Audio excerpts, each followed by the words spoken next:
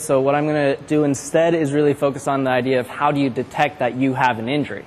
Everyone thinks that an injury is pain. Everyone says, oh, it doesn't hurt, so I don't have a problem. That's completely wrong. Okay? It's not that pain is not an indicator, but it's one of many indicators. You've got so many different things that tell you when you're injured, and if you know how to listen to it, then you know that you need to address it and you need to treat it right away. Because the longer something progresses, the worse it gets, right? Kind of makes sense?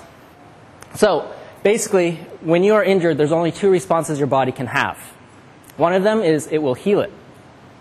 Most of the time, that's what our body does. Our bodies are amazing machines. They can take a lot of force. You can throw your body on the floor several times and you can heal from it. Okay? That's cool. That's great. But there are times where your body cannot heal and instead it compensates. The compensation is never as good as the original. So, for instance, if you're doing Kong vault here, suddenly, you know, you've injured a shoulder or something you're not going to be able to put the weight on that shoulder, so instead you put more weight on your other shoulder. You start tilting your body, you start clipping your toes or something. That happens a lot. So, in that situation, if you're compensating, that usually is one of the first signals that you're going to want to pay attention to when you're, you know, practicing, just to know that you're injured. Because a lot of you may not even realize it. If you see your body kind of tilting the side while you're doing a Kong, someone points it out to you, Think about that. Think if maybe you actually injured something. Uh, so, if we're going to heal, gonna, your body's going to need the proper resources to heal. In general, they're right here. You basically need time, you need the proper nutrition, and you need the proper, uh, proper conditioning in order to heal from an injury. Okay? That would be the ideal circumstance. Uh, we're not going to spend, well, we'll talk about that a little bit more in the future as well. Uh, if you do heal, your body's going to get stronger. It's just like tearing a muscle when you weightlift, right? You'll be able to lift more next time. But if you compensate, if you're compensating, you're getting weaker over time. Does that make sense? Is that pretty straightforward? Because if you're compensating, you're not doing everything in the proper biomechanics. Okay, so this is what I call the common sense chart. This is kind of explaining what I just told you. It's pretty straightforward. Um, you get an injury, either you stop the activity or you alter the activity. Okay? And then you either heal or you do not heal. And then you either get stronger or you get weaker. I know it seems basic, but here's why I mention it. Because this is what I see so often. Uh, some of you will not be able to read this, so I'll read it for you. There's a traceur who throws a side flip. Okay? He lands badly, he sprains an ankle, and he stands up and goes, I'm fine. And to prove that he's fine, he goes and throws a side flip again. Just to show everyone else, yeah, it looked like a bad landing, but I'm totally cool. Okay?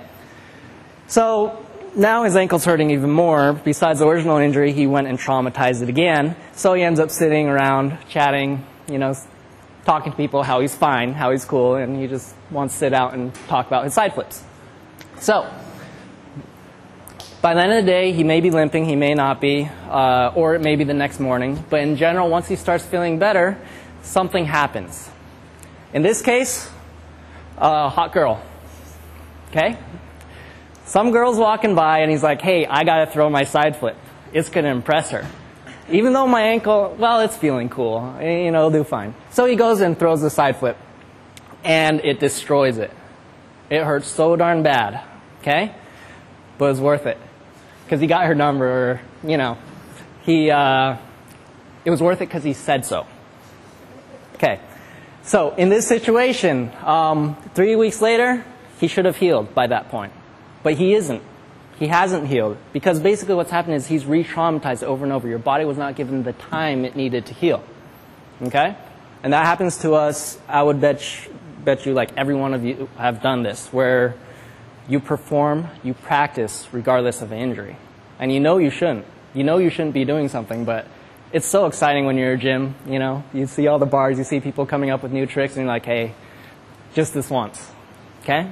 So, don't do that. That's dumb. That's why we go to the common sense chart. Okay.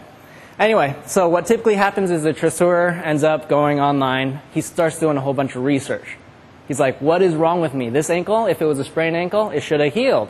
Why isn't it healing? It's been three weeks. He doesn't remember the fact that he's injured it, you know, two, three times since, again and again, and made it worse. Uh, so then he assumes, hey, it's a fracture. Uh, no, it's a tumor. I'm dying. Right? You get all this self diagnoses, People, they get all psychologically messed up. And so now they're not doing anything at all. They're not even doing walking around. They're just sitting at home playing video games because they're all depressed that they're injured. Make sense? Eh, is this familiar to you guys? Hopefully. so sooner or later, the guy gets back on his feet and he's like, well, I can't actually be on my feet, so I'm going to get on my hands all day. Or I'm going to alter, you know, start exercising other stuff.